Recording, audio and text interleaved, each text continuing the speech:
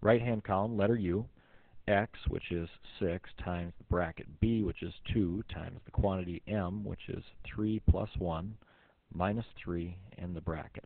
Innermost grouping symbol first, so we're going to attack 3 plus 1. So that would give us 4. Inside the bracket, we've got 2 times 4 minus 3. We have to multiply first, so 2 times 4 is 8, and then we'll subtract 3.